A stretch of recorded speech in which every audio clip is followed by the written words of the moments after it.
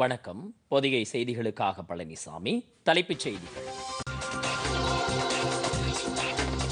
நாடு முழுவதும் கொரோனா தொற்று பாதிப்பால் எழுந்துள்ள சூழல் குறித்தும் தடுப்பு நடவடிக்கைகள் குறித்தும் மாநில முதலமைச்சர்களுடன் பிரதமர் நரேந்திர மோடி காணொலி காட்சி மூலம் இன்று ஆலோசனை.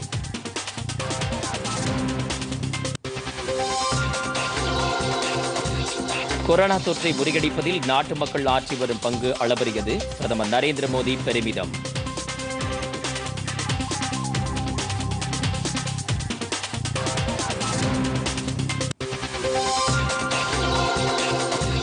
உலக நாடுகளுடன் ஒப்பிடுகையில் இந்தியாவில் கொரோனா உயிரிழப்பு விகிதம் குறைவு.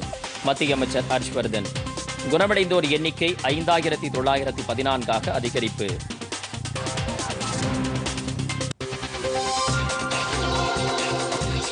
சென்னை உட்பட தமிழகத்தில் பெரும்பாலான மாவட்டங்களில் இரண்டாவது நாளாக தொடரும் முழு ஊரடங்கு. தொற்றை கட்டுப்படுத்தும் பணியில் உள்ளவர்களுக்கு ஊட்டச்சத்து மாத்திரைகள் வழங்க முதலமைச்சர் எடப்பாடி பழனிசாமி உத்தரவு. கொரோனா தொற்றை குணப்படுத்த தமிழ்நாட்டில் பிளாஸ்மா சிகிச்சை ஒரு வாரத்தில் தொடங்கும். மாநில சுகாதாரத்துறை அமைச்சர் விஜயபாஸ்கர் நம்பிக்கை.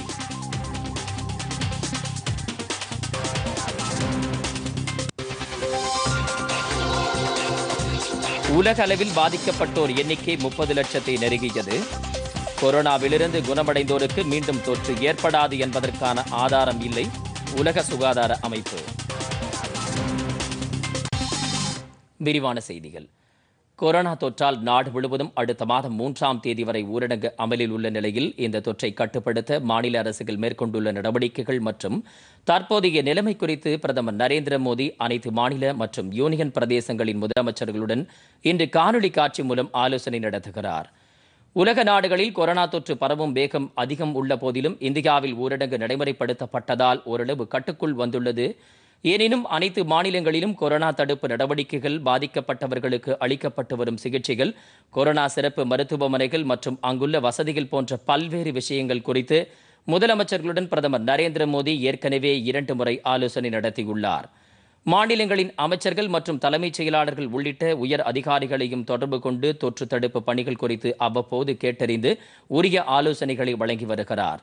இதன் தொடர்ச்சியாக பல்வேறு மாநிலங்களிலும் கொரோனா தொற்று பாதிப்புகள் மற்றும் ஊரடங்கு காலத்தில் மக்கள் அதனை பின்பற்றுவது குறித்தும் பிரதமர் தமது இன்றைய ஆலோசனையின் போது கேட்டறிவார் என எதிர்பார்க்கப்படுகிறது. தவிர மே மூன்றாம் தேதியுடன் ஊரடங்கு முடிவடைய உள்ள சூழலில் குறிப்பிட்ட சில மாநிலங்கள் அதனை நீட்டிக்க வேண்டுமென வரவேற்றுள்ள கோரிக்கைகள் குறித்தும் பல்வேறு மாநிலங்களில் முதலமைச்சர்களுடன் பிரதமர் ஆலோசனை நடத்துவார் என தெரிகிறது. கொரோனா தொற்றுக்கு எதிரான இந்தியாவின் போர் மக்களால் நடத்தப்பட்டு வருவதாகவும் மக்களுடன் அரசு நிர்வாகமும் இணைந்து இந்த தொற்றை முறியடிக்க செயலாற்றிக் கொண்டிருப்பதாகவும் பிரதமர் நரேந்திர மோடி தெரிவித்துள்ளார். அகில இந்திய வானொலி மூலம் பிரதமர் நேற்று ஆற்றிய மனதின் குரல் உரையில் இதனை தெரிவித்துள்ளார். இந்த தொற்றுக்கு எதிரான போரில் மக்கள் அளித்து வரும் ஆதரவு நம் நாட்டின் கலாச்சாரத்தை வெளிப்படுத்துவதாக உள்ளது என்றும் பல்வேறு உணர்வுகளை நம்மிடையே ஏற்படுத்துவதாக அமைந்துள்ளது என்றும் பிரதமர் பெருமிதம் தெரிவித்தார். இந்த தொற்றை எதிர்த்து போரிடுவதில் மாநில அரசுகள் அளித்து வரும் ஆதரவுக்கு தமது பாராட்டுகளை தெரிவித்துக் கொண்ட அவர் பாதிக்கப்பட்டவர்களுக்கு சிகிச்சை அளிப்பதிலும் தடுப்பு நடவடிக்கைகளிலும் முன்களத்தில் செயலாற்றி வரும் மருத்துவர்கள் செவிலியர்கள் சுகாதார பணியாளர்கள் உள்ளிட்டோரின் பணி அளப்பரியது என்றார். இந்த தொற்றுக்கு பின்னர் தற்போது நாம் மேற்கொண்ட பணிகள் அனைத்தும் வரலாற்றில் இடம்பெறக்கூடியதாக இருக்கும் என்றும் பிரதமர் கூறினார். அனைவரும் இந்த தொற்றை முறியடிப்பதில் போர் வீரர்களாக செயலாற்றுவதாகவும் அவர் குறிப்பிட்டார். அடுத்த மாதம் தாம் மனதின் குரல் உரையை நிகழ்த்தும் போது கொரோனா தொற்றிலிருந்து இந்தியாவும் உலக நாடுகளும் கண்டிப்பாக மீண்டிருக்கும் என்றும் பிரதமர் உறுதிபட கூறினார் மக்கள் தங்களை பாதுகாத்துக் கொள்ள ஏதுவாக கட்டாய முகக்கவசம் அணிய வேண்டும் என்று வலியுறுத்திய அவர் அனைவரும் இரண்டு மீட்டர் தனி மனித இடைவெளியை கடைபிடித்து கொரோனாவை முழுவதுமாக முறியடிக்க முன்வர வேண்டும் என்றும் பிரதமர் கேட்டுக்கொண்டார் इसके साथ हिंसा उत्पीड़न और उन्हें किसी रूप में चोट पहुँचाने वालों के खिलाफ बेहद सख्त सजा का प्रावधान किया गया है। हमारे doctor, nurses, paramedical staff, community health workers और ऐसे सभी लोग जो देश को कोरोना मुक्त बनाने में दिन रात जुटे हुए हैं, उनकी रक्षा करने के लिए ये कदम बहुत ज़रूरी था। கொரோனா தொற்றால் பாதிக்கப்பட்டு உயிரிழப்பவர்களின் விகிதம் உலக அளவை காட்டிலும் இந்தியாவில் மிக குறைவாகவே உள்ளது என்று மத்திய சுகாதாரம் மற்றும் குடும்பநலத்துறை அமைச்சர் ஹர்ஷ்வர்தன் தெரிவித்துள்ளார். இந்தியாவில் இந்த விகிதம் மூன்று புள்ளி ஒன்று சதவீதமாக உள்ளது என்றும் உலக அளவில் கொரோனா உயிரிழப்பு விகிதம் ஏழு சதவீதம் என்றும் அவர் புதுதில்லியில் செய்தியாளரிடம் பேசுகையில் தெரிவித்தார். இந்தியாவில் இதுவரை சிகிச்சைக்கு பின்னர் ஐந்தாயிரத்தி தொள்ளாயிரத்தி பதினான்கு பேர் குணமடைந்திருப்பதாக தெரிவித்த அமைச்சர் குணமடைவோர் விகிதம் இருபத்தி இரண்டு சதவீதமாக உள்ளது என்றார். இது உலக நாடுகளுடன் ஒப்பிடுகையில் மிக அதிக அளவாகும் என்றும் அமைச்சர் குறிப்பிட்டார். முன்னதாக தில்லி எய்ம்ஸ் மருத்துவமனையில் அவசர சிகிச்சை பிரிவை பார்வையிட்ட அவர் அங்கு கொரோனா தொற்றால் அனுமதிக்கப்பட்டவர்களுக்கு மேற்கொள்ளப்படும் சிகிச்சை முறைகள் குறித்து மருத்துவர்களிடம் கேட்டறிந்தார். இருநூற்று ஐம்பது படுக்கைகளுடன் கொரோனா தொற்றுக்காக அமைக்கப்பட்டுள்ள பிரத்யேக மருத்துவமனையையும் அமைச்சர் ஹர்ஷ்வர்தன் பார்வையிட்டார். பின்னர் கொரோனா பாதிப்புக்கு உள்ளாகி சிகிச்சை பெறும் நோயாளிகளிடம் உடல்நலம் குறித்து அவர் விசாரித்தார். கொரோனா தொற்று உறுதி செய்யப்பட்டோ அல்லது சந்தேகத்தின் பேரிலோ உயிரிழப்போரின் உடல்களை இந்தியாவுக்கு கொண்டு வருவது தொடர்பான விரிவான நெறிமுறைகளை மத்திய சுகாதார அமைச்சகம் வெளியிட்டுள்ளது. என்றாலும் வெளிநாடுகளிலிருந்து அத்தகைய உடல்களை கொண்டு வருவதற்கு மத்திய சுகாதாரத்துறை பரிந்துரை செய்யவில்லை. கொரோனா தொற்றால் உயிரிழப்பு ஏற்பட்டு கொண்டு வரப்படும் நோயாளிகளின் இறப்புக்கான காரணம் இந்திய தூதரக அதிகாரிகளிடமிருந்து தடையில்லா சான்றிதழ் உடலை பதப்படுத்துவதற்கான சான்றிதழ் போன்றவற்றை முன்னெச்சரிக்கை நடவடிக்கையாக சம்பந்தப்பட்டவர்கள் அளிக்க வேண்டும் என்று சுகாதார அமைச்சகம் அந்த நெறிமுறையில் கூறியுள்ளது. ஒருவேளை கொண்டு வரப்படும் உடல்களுக்கான அனைத்து முன்னெச்சரிக்கை நடவடிக்கைகளையும் விமான நிலைய சுகாதாரத்துறை அதிகாரிகள் விமான நிலையங்களின் அதிகாரிகள் உறுதிப்படுத்த வேண்டும் என்றும் மத்திய அரசு அதில் குறிப்பிட்டுள்ளது. மேலும் நோயாளிகளை கையாள்வோர் அனைத்து வித தனிநபர் பாதுகாப்பு உபகரணங்களுடன் செயல்படுவதுடன் தேவையான முன்னெச்சரிக்கை நடவடிக்கைகளையும் பின்பற்ற வேண்டும் என்று அறிவுறுத்தப்பட்டுள்ளது. உடல் அடக்கத்தின் போதும் மத்திய அரசின் அனைத்து விதிமுறைகளையும் பின்பற்றப்பட வேண்டும் எனவும் கேட்டுக் கொள்ளப்பட்டுள்ளது. மேலும் உடல்களை கொண்டு வரும் பணியில் ஈடுபடும் ஊழியர்கள் இருபத்தி எட்டு நாட்கள் வரை தனிமைப்படுத்துவதற்கான பரிந்துரையும் அளிக்கப்பட்டுள்ளது. விமானத்தில் வரும்போது உயிரிழக்க நேரிட்டால் அது தொற்று இருக்கக்கூடும் என்ற சந்தேகத்தின் அடிப்படையிலானது என கருதப்படும் என்றும் வழக்கமான நடைமுறைகள் அப்போது பின்பற்றப்பட வேண்டும் என்றும் சுகாதாரத்துறை அந்த வழிகாட்டு நெறிமுறைகளில் கூறியுள்ளது. உடல் அடக்கம் அல்லது தகனம் செய்யப்படும் இடங்களில் இந்த நெறிமுறைகள் கட்டாயமாக பின்பற்றப்பட வேண்டும் எனவும் கேட்டுக்கொள்ளப்பட்டுள்ளது. கொரோனா தொற்றால் ஊரடங்கு நடைமுறையில் உள்ள போதிலும் ஹாட்ஸ்பாட் பகுதிகளாக அறிவிக்கப்படாத பல்வேறு மாநிலங்களில் பதிவு செய்யப்பட்ட கடைகளை திறக்க அனுமதி அளிக்கப்பட்டதை தொடர்ந்து பல்வேறு இடங்களில் சில கடைகள் திறக்கப்பட்டுள்ளன. கடந்த வெள்ளிக்கிழமை மத்திய உள்துறை அமைச்சகம் வெளியிட்ட உத்தரவில் பொதுமக்களின் பாதிப்பை கருத்தில் கொண்டு குறிப்பிட்ட சில கடைகளை திறக்க அனுமதி அளித்தது. எனினும் மாநகராட்சி மற்றும் நகராட்சி பகுதியில் சந்தை வளாகங்கள் செயல்பட கடைகள் திறக்க அனுமதி அளிக்கப்படவில்லை. சில ஆயத்த ஆடைகள் விற்பனை நிலையங்கள் செல்போன் கடைகள் எழுதுபொருள் விற்பனை செய்யும் கடைகள் போன்றவை திறப்பதற்கு அரசு அனுமதி அளித்தது. சந்தை பகுதிகள் வணிக வளாகங்கள் மற்றும் கொரோனா பாதிப்பு அதிகம் உள்ள ஹாட்ஸ்பாட் பகுதிகள் உள்ளிட்ட கடைகள் திறப்பதற்கு அனுமதி கிடையாது என உள்துறை அமைச்சகம் அறிவித்திருந்தது. மேலும் திறக்க அனுமதிக்கப்பட்டுள்ள கடைகளிலும் ஐம்பது சதவீதம் பேரே பணியில் இருக்க வேண்டும் என்றும் கண்டிப்பாக முகக்கவசம் அணிவதுடன் தனிமனித இடைவெளியை கடைபிடித்து விதிமுறைகளை பின்பற்றி நடக்க வேண்டும் என்றும் மத்திய அரசு உத்தரவிட்டிருந்தது. அதன்படி குறிப்பிட்ட சில மாநிலங்களில் பல்வேறு கடைகள் திறக்கப்பட்டன என்றாலும் சலூன்கள் ஹோட்டல்கள் போன்றவை திறப்பதற்கு அனுமதி வழங்கப்படவில்லை. கொரோனா தொற்றால் ஒட்டுமொத்த இந்தியாவும் பாதிப்பை எதிர்கொண்டுள்ள நிலையில் தொற்று பாதிக்கப்பட்ட நோயாளிகளின் முக்கிய தேவையான செயற்கை சுவாச கருவிகளை மும்பை தொழில்நுட்ப கழக மாணவர்கள் தயாரித்துள்ளனர். மும்பை ஐஐடி மாணவர் தலைமையில் பல்வேறு உயர்கல்வி நிறுவனங்களின் பொறியியல் மாணவர்களை கொண்ட குழுவினர் ருதார் என்ற குறைந்த செலவிலான செயற்கை சுவாச கருவியை தயாரித்துள்ளனர். தற்போது அதிக அளவில் செயற்கை சுவாச கருவிகள் தேவைப்படும் நிலையில் ஐஐடி மாணவர்களின் இந்த கண்டுபிடிப்பு முக்கியத்துவம் பெறுகிறது. மருத்துவ பரிசோதனைக்கு இந்த கருவிகள் எடுத்துச் செல்லப்பட்டு இந்திய மருத்துவ ஆராய்ச்சிக் கழகத்தின் ஒப்புதல் கிடைத்த பின்னர் அதிக எண்ணிக்கையில் ருதார் வெண்டிலேட்டர்கள் தயாரிக்கப்படும் என அந்த குழுவினர் தெரிவித்துள்ளனர்.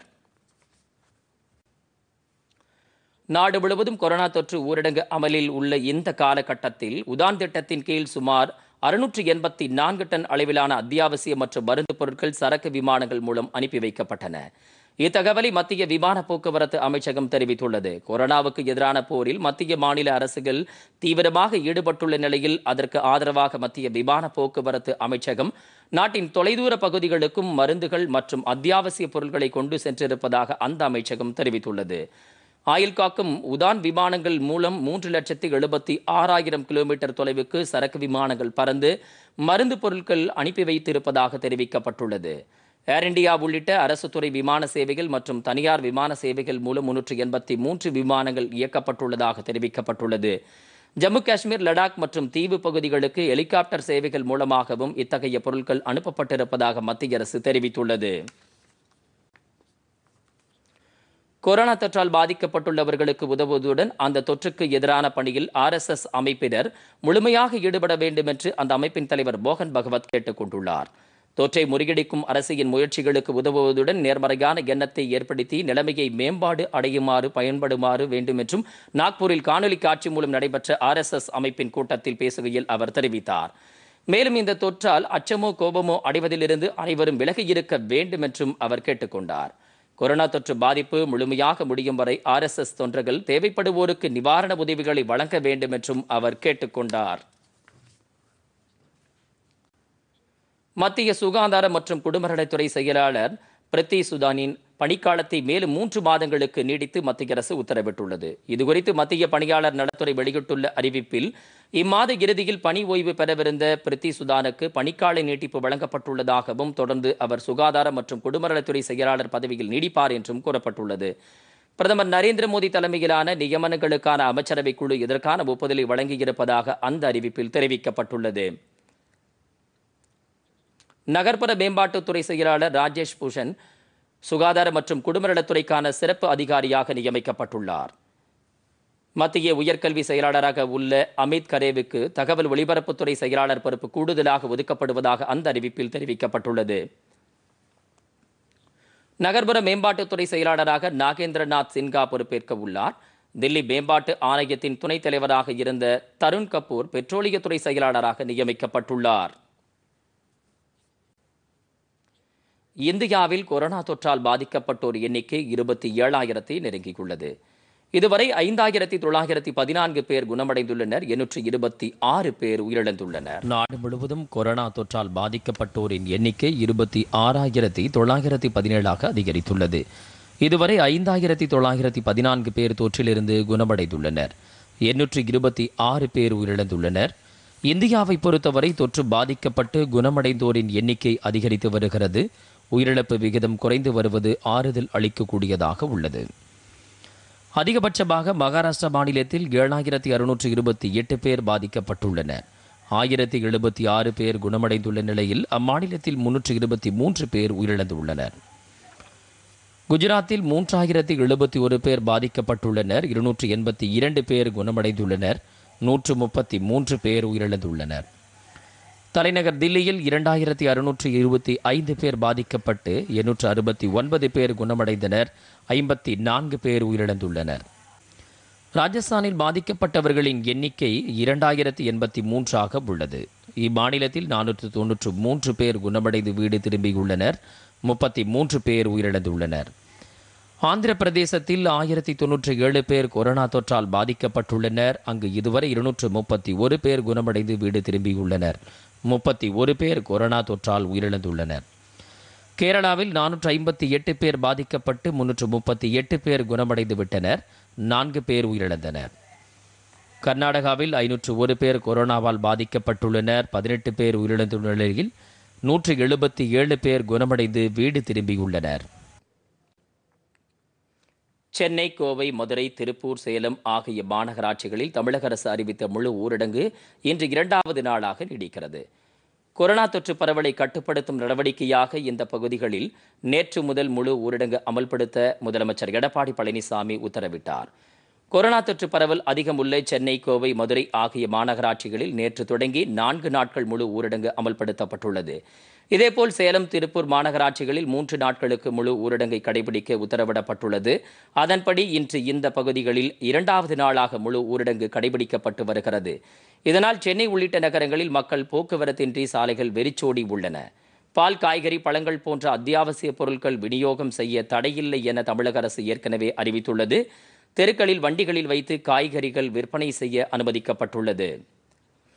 இதற்கிடையே தமிழகத்தில் நேற்று மேலும் அறுபத்தி நான்கு பேருக்கு கொரோனா தொற்று உறுதி செய்யப்பட்டுள்ளது. இதையடுத்து பாதிக்கப்பட்டோரின் எண்ணிக்கை ஆயிரத்தி எண்ணூற்றி எண்பத்தி ஐந்தாக அதிகரித்துள்ளது. சென்னையில் அதிகபட்சமாக ஐநூற்று இருபத்தி மூன்று பேர் கொரோனா தொற்றால் பாதிக்கப்பட்டுள்ளனர். திருவள்ளூரில் ஐம்பத்தி மூன்று பேருக்கும் செங்கல்பட்டில் ஐம்பத்தி எட்டு பேருக்கும் தொற்று பாதிப்பு உள்ளதாக மாநில சுகாதாரத்துறை வெளியிட்ட செய்திக்குறிப்பு தெரிவிக்கிறது. நேற்று ஒருவர் உயிரிழந்ததை தொடர்ந்து தமிழகத்தில் உயிரிழந்தோர் எண்ணிக்கை இருபத்தி நான்காக உயர்ந்துள்ளது.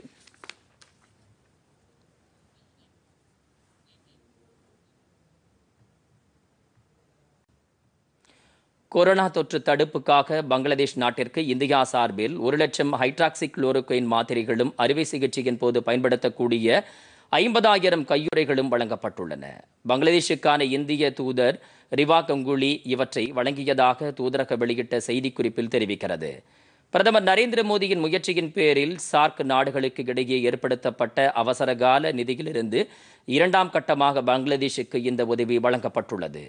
இந்தியாவின் இந்த உதவிக்காக பங்களாதேஷ் சுகாதாரத்துறை அமைச்சர் ஜாகிக் மலேக் நன்றி தெரிவித்துக் கொண்டார். ஏற்கனவே அந்நாட்டிற்கு முப்பதாயிரம் முகக்கவசங்களையும் தலையில் அணியும் பதினைந்தாயிரம் முறைகளையும் இந்தியா வழங்கியது குறிப்பிடத்தக்கது.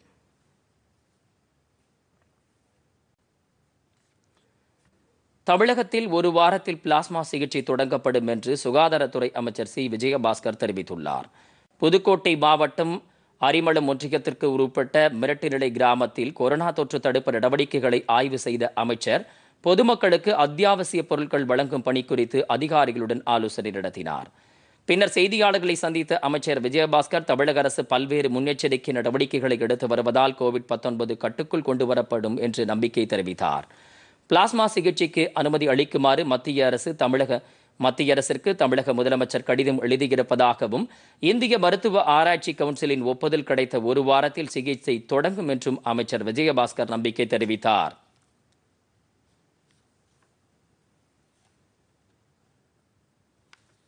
இந்த நோய் தொற்றுல ஒரு தடை ஏற்படணும் அப்படின்னு மருத்துவ வல்லுநர்களுடைய மூத்த மருத்துவ ஆராய்ச்சியாளர்களுடைய பரிந்துரையை முதலமைச்சர் ஏற்று அந்த பரிந்துரையின் அடிப்படையில் முதலமைச்சர் வந்து இந்த முழு ஊரடங்கை வந்து பெருநகரங்கள்ல இது வந்து அஹ், மாண்புமிகு உத்தரவு முதலமைச்சர் அவர்கள் இந்த உத்தரவை பிறப்பித்திருக்காங்க. ஆக இதுல வந்து நம்ம இன்னும் முழுமையாக பொதுமக்கள் ஒத்துழைப்பு வழங்குகின்ற பொழுது நம்ம வந்து இந்த நோயை கட்டுக்குள் கொண்டு வரக்கூடிய அந்த ஒரு நிலையை உருவாக்க முடியும். தெற்கு ரயில்வேயின் சரக்கு போக்குவரத்துக்கான உதவி மையம் மூலம் சிதம்பரத்தைச் சேர்ந்த புற்றுநோயால் பாதிக்கப்பட்ட நோயாளிக்கு மருந்து கொண்டு போய் சேர்க்கப்பட்டுள்ளது. பயணிகள் ரயில் சேவை நிறுத்தப்பட்டுள்ள நிலையில் சரக்கு போக்குவரத்தை விரைவுபடுத்தும் வகையில் இருபத்தி நான்கு மணி நேரமும் செயல்படும் உதவி மையம் தெற்கு ரயில்வே அமைத்துள்ளது. இதன்படி ஒன்பது பூஜ்ஜியம் இரண்டு ஐந்து மூன்று நான்கு இரண்டு நான்கு நான்கு ஒன்பது என்ற எண்ணுக்கு தொடர்பு கொண்டால் தேவையான உதவிகள் செய்ய ஏற்பாடுகள் செய்யப்பட்டுள்ளது. சிதம்பரத்தைச் சேர்ந்த வடிவேலு என்பவர் தனது தாய்க்கு சென்னையிலிருந்து புற்றுநோய் மருந்தை கொண்டு சேர்க்க முடியுமா என்று கோரிக்கை விடுத்தார். இதையடுத்து உதவி மைய அதிகாரிகள் தீவிரமாக செயல்பட்டு திருச்சிக்கு சரக்கு ரயில் மூலம் கொண்டு செல்ல ஏற்பாடு செய்தனர். இதையடுத்து அங்கிருந்து சிதம்பரம் ரயில் நிலைய அதிகாரிகள் மூலம் வடிவேலு உறவினரிடம் மருந்து ஒப்படைக்கப்பட்டதாக தெற்கு ரயில்வே அறிவித்துள்ளது. சென்னையில் உள்ள ராஜீவ்காந்தி அரசு மருத்துவமனையில் கோவிட் 19 தொற்றால் அனுமதிக்கப்பட்ட பதினைந்து பேர் குணமடைந்து வீடு திரும்பியிருப்பதாக மருத்துவமனை நிர்வாகம் தெரிவித்துள்ளது. இது தொடர்பாக மருத்துவமனை வெளியிட்டுள்ள செய்திக்குறிப்பில் ராஜீவ்காந்தி மருத்துவமனையில் உள்ள நானூற்று எழுபத்தி ஒரு மருத்துவர்கள் செவிலியர்கள் மற்றும் மருத்துவ பணியாளர்களுக்கு கோவிட் 19 பரிசோதனை மேற்கொள்ளப்பட்டதாகவும் இதில் யாருக்கும் தொற்று இல்லை என்பது உறுதி செய்யப்பட்டுள்ளதாகவும் தெரிவிக்கப்பட்டுள்ளது. இதுவரை காவல்துறையினர் ஊடகத்துறையினர் உட்பட பதினைந்து பேர் குணமடைந்து வீடு திரும்பியிருப்பதாகவும் தெரிவிக்கப்பட்டுள்ளது. கொரோனா தொற்று தடுப்பு பணிகளில் ஈடுபட்டுள்ள சுகாதார பணியாளர்கள் உள்ளிட்ட அரசு ஊழியர்கள் அனைவருக்கும் இன்று முதல் பத்து நாட்களுக்கு ஊட்டச்சத்து மாத்திரைகள் வழங்க முதலமைச்சர் எடப்பாடி பழனிசாமி உத்தரவிட்டுள்ளார். மருத்துவ வல்லுநர்களின் பரிந்துரையின்படி ஏற்கனவே சுகாதாரத்துறையினர் உள்ளிட்ட பணியாளர்களுக்கு நிலவேம்பு மற்றும் கபசுர குடிநீர் போன்றவை வழங்கப்பட்டு வருகிறது. இதன் தொடர்ச்சியாக தொற்று தடுப்பு நடவடிக்கைகளிலும் அத்தியாவசிய பணிகளிலும் ஈடுபட்டுள்ள அரசு ஊழியர்களுக்கு இன்று முதல் தொடர்ந்து பத்து நாட்களுக்கு சத்து மாத்திரைகள் வழங்க முதலமைச்சர் எடப்பாடி பழனிசாமி உத்தரவிட்டுள்ளார்.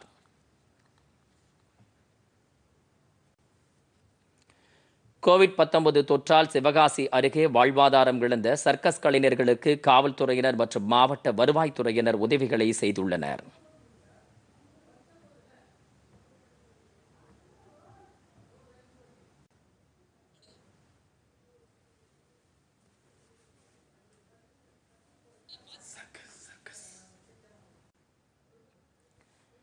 ஊரடங்கு காலத்தில் பாதிக்கப்பட்ட மக்களுக்காக உஜ்வாலா திட்ட பயனாளிகளுக்கு மூன்று எரிவாயு சிலிண்டர்கள் வழங்கப்படுவதால் பொதுமக்கள் மகிழ்ச்சி தெரிவித்துள்ளனர். ஊரடங்கு உத்தரவால் பொதுமக்கள் வீடுகளிலேயே முடங்கியுள்ளனர். கூலி தொழிலாளர்கள் வருவாயின்றி தவித்து வரும் நிலையில் பிரதமரின் உஜ்வாலா திட்டத்தின் கீழ் இலவச எரிவாயு இணைப்பு பெற்றவர்களுக்கு பதினான்கு புள்ளி இரண்டு கிலோ சிலிண்டர்களை பயன்படுத்துவோருக்கு மூன்று எரிவாயு சிலிண்டர்களும் ஐந்து கிலோ பயன்படுத்துவோருக்கு எட்டு சிலிண்டர்களும் இலவசமாக வழங்கப்படும் என மத்திய அரசு அறிவித்தது. இதன்படி நெல்லை மாவட்டத்தில் அறுபத்தி ஐந்தாயிரத்தி எழுநூற்றி இருபத்தி ஆறு பேர் இலவச இணைப்புகளுக்கும் கன்னியாகுமரி மாவட்டத்தில் ஒரு லட்சத்தி பதினாறாயிரத்தி எழுநூற்று நாற்பத்தி இரண்டு இலவச இணைப்புகளும் வழங்கப்பட்டுள்ளதாக இந்தியன் ஆயில் கார்ப்பரேஷன் நிறுவனத்தின் விற்பனை மேலாளர் பாலமுரளி கூறினார். சிலிண்டர்களுக்கான தொகை வாடிக்கையாளர்களின் வங்கிக் கணக்கில் முன்பணமாக வரவு வைக்கப்படும் என்றும் அதனை பயன்படுத்தி சிலிண்டர் பெற்றுக்கொள்ளலாம் என்றும் அவர் கூறினார். திருநெல்வேலி கன்னியாகுமரி மாவட்டத்தில் ஒரு லட்சத்தி பதினாறாயிரத்தி எழுநூற்றி நாற்பத்தி ரெண்டு உஜ்வாலா கனெக்ஷன்ஸ் வந்து இருக்காங்க. இந்த ஸ்கீம் எப்படின்னா வந்து முதல்ல வந்து கம்பெனி வந்து அவங்க கஸ்டமரோட பேங்க் அக்கௌண்ட்டில் வந்து சிலிண்டரோட அமௌண்ட்டு எவ்வளோ அந்த ஆர்எஸ்பி அமௌண்ட்டை வந்து டெபாசிட் பண்ணிடுவாங்க ஸோ அந்த டெபாசிட் பண்ண அமௌண்ட்டை வந்து கஸ்டமர் வந்து விட்ரால் பண்ணிவிட்டு அவங்க புக் பண்ணணும். கன்சர்ன் டிஸ்ட்ரிபியூட்டர் டிஸ்ட்ரிபியூட்டரில் அதுக்கப்புறம் புக் பண்ணதுக்கப்புறம் சிலிண்டர் வந்ததுக்கப்புறம் அந்த பேமெண்ட் வந்து கொடுக்கணும். இதில் வந்து நிறைய பேர் வந்து இன்னும் இதில் இந்த நல்ல ஸ்கீமை வந்து கொஞ்சம் யூட்டிலைஸ் பண்ணிக்கோங்க. ஸோ யூட்டிலைஸ் பண்ணிவிட்டு நிறைய பேர் புக் பண்ணுங்கள் ஏன்னா இன்னும் கொஞ்சம் சில பேர் வந்து புக் பண்ண வேண்டியது பாக்கி இருக்குது. நாங்கள் எல்லா எவ்வளோலாம் புக்கிங் வந்திருக்குதோ எல்லா பேருக்கும் நாங்கள் டெலிவரி பண்ணியிருக்கோம் நன்றி. வணக்கம். தற்போது வேலைக்கு செல்ல முடியாமல் உள்ள நிலையில் மூன்று எரிவாயு சிலிண்டர்களை மத்திய அரசு இலவசமாக வழங்குவது பயனுள்ளதாக இருப்பதாக பயனாளிகள் தெரிவித்துள்ளனர். இதற்காக பிரதமர் மோடிக்கு அவர்கள் நன்றி தெரிவித்துள்ளனர்.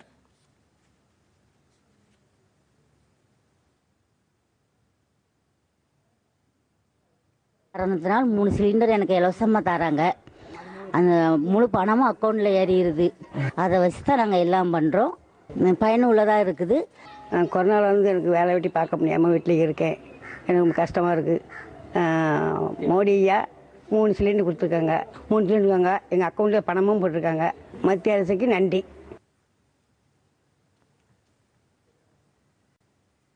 கோவிட் 19 தொற்றால் சிவகாசி அருகே வாழ்வாதாரம் இழந்த சர்க்கஸ் கலைஞர்களுக்கு காவல்துறையினர் மற்றும் மாவட்ட வருவாய்த்துறையினர் உதவிகளை செய்துள்ளனர். ஊரடங்கு உத்தரவு காரணமாக பொழுதுபோக்கு நிகழ்ச்சிகளுக்கு தடை விதிக்கப்பட்டுள்ளதால் சர்க்கஸ் காட்சிகள் ரத்து செய்யப்பட்டுள்ளன. ஒரு மாத காலமாக காட்சிகள் ரத்து செய்யப்பட்டுள்ளதால் சர்க்கஸ் கூடாரம் வெறிச்சோடி காணப்படுகிறது. இருபத்தைந்து பேர் கொண்ட குழுவினர் வாழ்வாதாரம் இழந்து தவித்து வந்தனர். இதேபோல் சர்க்கஸ் காட்சிகளுக்கு பயன்படுத்தப்பட்டு வந்த ஒட்டகம் நாய் உள்ளிட்ட விலங்குகளுக்கு உணவு அளிக்க முடியாத நிலை ஏற்பட்டுள்ளது. இதை அறிந்த காவல்துறையினர் பாதிக்கப்பட்ட மக்களுக்கு அரிசி பருப்பு எண்ணெய் உள்ளிட்ட அத்தியாவசிய பொருட்களை வழங்கினர். இதேபோல் வருவாய்த்துறையினரும் தேவையான உதவிகளை செய்து வருவதாக சர்க்கஸ் குழுவினர் தெரிவித்தனர். இந்த கொரோனா வந்ததில் இருந்து எங்களுக்கு பொழப்பு இல்லாமல் ரொம்ப பசியும் பட்டினியுமாக நாங்கள் ஒரு இருபத்தஞ்சு பேர் இந்த ஒட்டகம் குதிரை மற்றபடி நாங்கள் இந்த ஆட்டுக்குட்டி நாய்கள் பசியும் பட்டினியுமாக இருக்கார்கள் அப்படி நினைத்து மேல் அதிகாரிகள் உணவு அதாவது பசியும் பட்டினியுமாக இருக்காங்க என்று அரிசிகள் காய்கறிகள் இது போன்ற ஒரு ஆதரவு செய்திருக்கின்றார்கள்.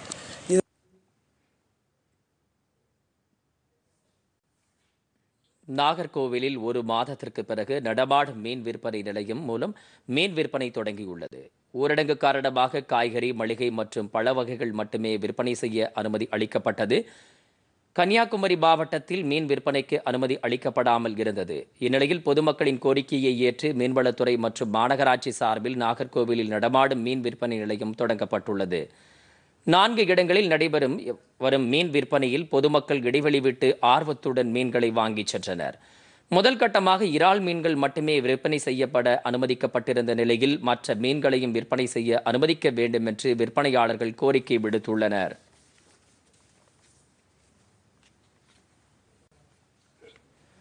உலக அளவில் நேற்று ஒரே நாளில் எழுபத்தி நான்காயிரம் பேருக்கு கோவிட் 19 தொற்று உறுதி செய்யப்பட்டுள்ளதால் ஒட்டுமொத்தமாக பாதிக்கப்பட்டோரின் எண்ணிக்கை முப்பது லட்சத்தை நெருங்கியுள்ளது. இரண்டு லட்சத்தி ஏழாயிரம் பேர் உயிரிழந்துள்ளனர். உலக அளவில் இருநூற்று பத்திற்கும் மேற்பட்ட நாடுகளை கோவிட் 19 தொற்று அச்சுறுத்தி வருகிறது. அமெரிக்காவில் நேற்று ஒரே நாளில் இருபத்தி ஆறாயிரத்தி ஐநூறு பேருக்கு நோய் தொற்று உறுதி செய்யப்பட்டதால் இதுவரை பாதிக்கப்பட்டோரின் எண்ணிக்கை ஒன்பது லட்சத்தி எண்பத்தி ஏழாயிரமாக அதிகரித்துள்ளது. உயிரிழந்தோரின் எண்ணிக்கை ஐம்பத்தி ஐந்தாயிரத்தை கடந்துள்ளது. இதற்கு அடுத்தபடியாக ஸ்பெயினில் இரண்டு லட்சத்தி இருபத்தி ஆறாயிரம் பேரும் இத்தாலியில் ஒரு லட்சத்தி தொன்னூற்றி ஏழாயிரம் பேரும் பிரான்சில் ஒரு லட்சத்தி அறுபத்தி இரண்டாயிரம் பேரும் பாதிக்கப்பட்டுள்ளனர். இதேபோல் ஜெர்மனியில் ஒரு லட்சத்தி ஐம்பத்தி ஏழாயிரம் பேரும் பிரிட்டனில் ஒரு லட்சத்தி ஐம்பத்தி இரண்டாயிரம் பேரும் துருக்கியில் ஒரு லட்சத்தி பத்தாயிரம் பேரும் பாதிக்கப்பட்டுள்ளனர். இதன் மூலம் ஒரு லட்சத்திற்கு மேற்பட்டோர் பாதிக்கப்பட்ட நாடுகள் பட்டியலில் ஏழு நாடுகள் இடம்பெற்றுள்ளன.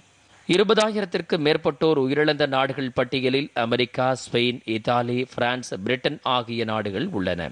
சீனாவில் எண்பத்தி இரண்டாயிரத்தி எண்ணூற்று இருபத்தி ஏழு பேர் பாதிக்கப்பட்ட நிலையில் நான்காயிரத்தி அறுநூற்று முப்பத்தி இரண்டு பேர் உயிரிழந்தனர். ரஷ்யா பிரேசில் கனடா ஆகிய நாடுகளிலும் நோய் தொற்று வேகமாக பரவி வருகிறது. பாகிஸ்தானில் பாதிக்கப்பட்டோரின் எண்ணிக்கை பதிமூன்றாயிரத்தி முன்னூற்றி இருபத்தி எட்டாக அதிகரித்துள்ளது. பங்களாதேஷில் புதிதாக நாற்பத்தி எட்டு பேருக்கு நேற்று நோய் தொற்று உறுதி செய்யப்பட்டுள்ள நிலையில் பாதிக்கப்பட்டோரின் எண்ணிக்கை ஐந்தாயிரத்தி நானூற்று பதினெட்டாக உயர்ந்துள்ளது. ஐக்கிய அரபு எமிரேட்ஸில் பாதிப்பு பத்தாயிரத்தை கடந்துள்ள நிலையில் சோதனையை தீவிரப்படுத்த உள்ளதாக அரசு அறிவித்துள்ளது. இதுவரை பத்து லட்சத்திற்கு மேற்பட்டோர் பரிசோதனைக்கப்பட்டுள்ள நிலையில் துபாயில் பேருந்து மற்றும் மெட்ரோ சேவை தொடங்கியுள்ளது. சவுதி அரேபியாவில் வரும் இருபத்தி ஒன்பதாம் தேதி முதல் கட்டுப்பாடுகள் தளர்த்தப்படும் என அறிவிக்கப்பட்டுள்ளது. இலங்கையில் கடற்படையைச் சேர்ந்த பத்து பேருக்கு புதிதாக நோய் தொற்று உறுதி செய்யப்பட்டுள்ள நிலையில் பாதிக்கப்பட்ட கடற்படை வீரர்களின் எண்ணிக்கை தொன்னூற்று ஐந்தாக உயர்ந்துள்ளது. இதையடுத்து விடுப்பில் உள்ள முப்படை வீரர்களும் தங்களது முகாம்களுக்கு உடனடியாக திரும்ப வேண்டும் என்று அறிவுறுத்தப்பட்டுள்ளது. நோய் பரவலை தடுக்க அனைத்து வீரர்களையும் பரிசோதிக்க அரசு திட்டமிட்டுள்ளது. கொரோனா தொற்றிலிருந்து சிகிச்சை முடிந்து குணமடைந்தவர்களுக்கு அந்த தொற்று இரண்டாவது முறையாக பரவாது என்பதற்கான எந்த ஆதாரங்களும் இல்லை என உலக சுகாதார அமைப்பு தெரிவித்துள்ளது. மனிதர்களிடம் சார்ஸ் கோவிட் இரண்டு தொற்று பாதிப்புக்கு பின்னர் எதிர்ப்பு சக்தி இருக்கும் என்பது குறித்த ஆய்வு எதுவும் இல்லை என்று அந்த அமைப்பு கூறியுள்ளது. பாதிப்புக்கு பின்னர் குணமடைந்தவர்களின் உடல்கள் எதிர்ப்பு சக்தி மூலம் முழு அளவில் இருக்கும் என்பதற்கு உத்தரவாதம் இல்லை எனவும் உலக சுகாதார அமைப்பு வெளியிட்டுள்ள அறிக்கை தெரிவிக்கிறது. எனினும் இது தொடர்பாக தொடர்ந்து ஆராய்ச்சிகள் நடத்தப்பட்டு வருவதாகவும் அந்த அமைப்பு கூறியுள்ளது. தொடர்வது பத்திரிகை செய்திகள்.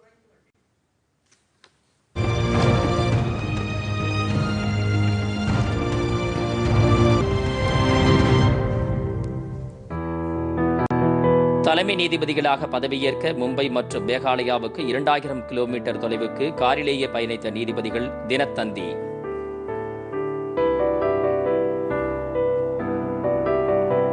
கோவிட் 19 பரவலை கட்டுப்படுத்த பரிசோதனையை தீவிரப்படுத்த வேண்டுமென முன்னாள் பிரதமர் மன்மோகன் சிங் வலியுறுத்தல் தினமணி.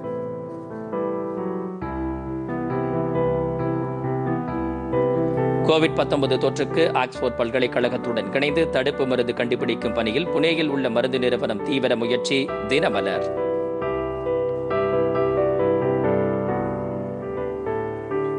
ஊரடங்கு அமல்படுத்தப்பட்ட நிலையில் ஐநூற்று தொன்னூற்று மூன்று வழக்குகளை காணொலி காட்சி மூலம் விசாரித்த உச்சநீதிமன்றம் இருநூற்று பதினைந்து வழக்குகளுக்கு தீர்ப்பு தினகரன்.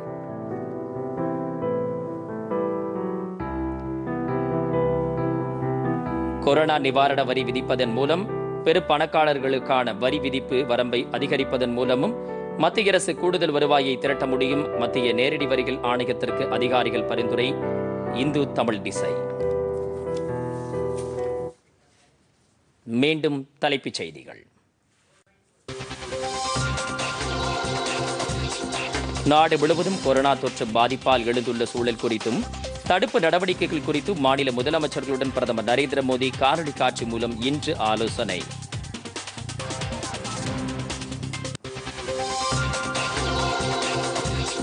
கொரோனா தொற்றை முறியடிப்பதில் நாட்டு மக்கள் ஆற்றி வரும் பங்கு அளவறியது. பிரதமர் நரேந்திர மோடி பெருமிதம்.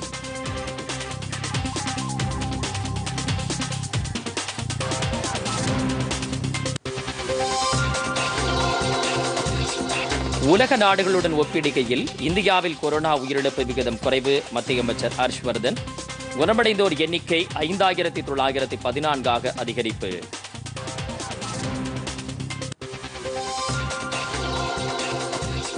சென்னை உட்பட தமிழகத்தின் பெரும்பாலான மாவட்டங்களில் இரண்டாவது நாளாக தொடரும் முழு ஊரடங்கு. தொற்றை கட்டுப்படுத்தும் பணியில் உள்ளவர்களுக்கு ஊட்டச்சத்து மாத்திரைகள் வழங்க முதலமைச்சர் எடப்பாடி பழனிசாமி உத்தரவு. கொரோனா தொற்றை குணப்படுத்த தமிழ்நாட்டில் பிளாஸ்மா சிகிச்சை ஒரு வாரத்தில் தொடங்கும் மாநில சுகாதாரத்துறை அமைச்சர் விஜயபாஸ்கர் நம்பிக்கை.